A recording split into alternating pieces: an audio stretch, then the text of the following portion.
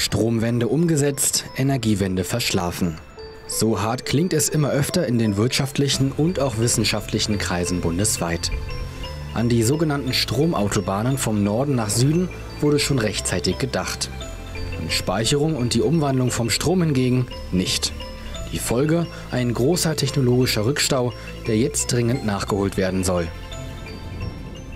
Mit der Proklamierung der Energiewende äh, war zunächst nur die Stromwende verbunden und andere Bereiche wie Verkehr und Wärme sind außen vor geblieben. Äh, man hat also nicht in Systemen gedacht und auch ähm, jetzt bei dem Ausbau der erneuerbaren Energien sozusagen dann auch im Stromsektor, beim Netzausbau zum Beispiel, ist man an gewisse Grenzen gestoßen.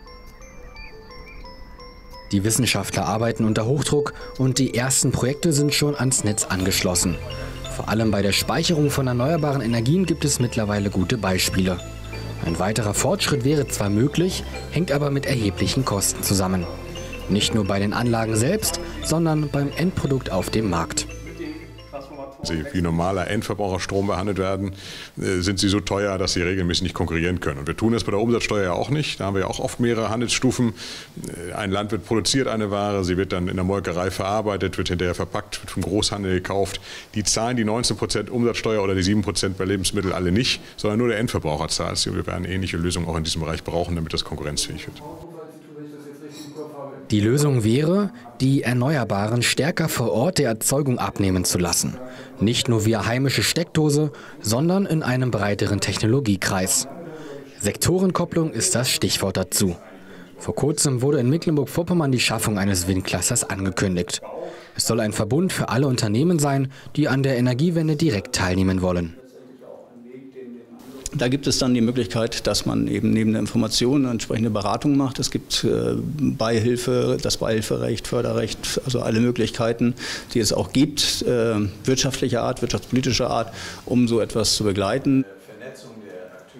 In der Praxis soll es künftig heißen, wer sich in MV die Arbeit als Zulieferer für Windenergie sowie andere relevante Branchen vorstellen könnte, bekommt ein grünes Licht für seine Vorhaben.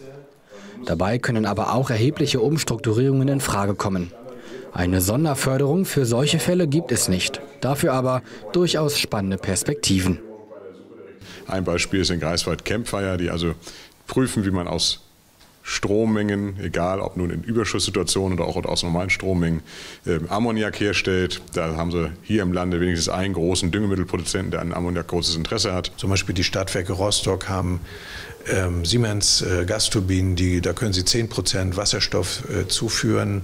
Das heißt, wir werden also diesen grünen Wasserstoff schrittweise dann in die Anwendung bringen. Eine aktive Mitwirkung beim Windcluster MV hat bereits das Fraunhofer Institut übernommen. Das Vorbild soll der mitteldeutsche Automobilcluster sein. Das Ziel ist es, einheimische Vorleistungen in den Produktionsketten zu stärken.